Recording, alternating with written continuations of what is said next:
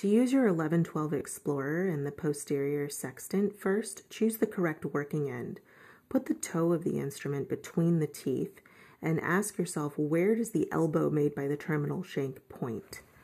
This elbow, not this elbow, this elbow, the one made by the terminal shank. If it points distally, that's the correct working end.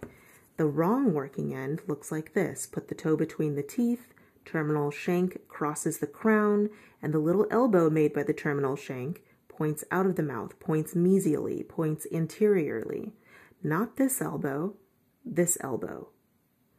The correct working end looks like this. Once you figure that out, you start at the distal line angle and wrist rock and thumb roll into the distal interproximal, come back to the distal line angle, roll, and wrist rock and roll to the mesial.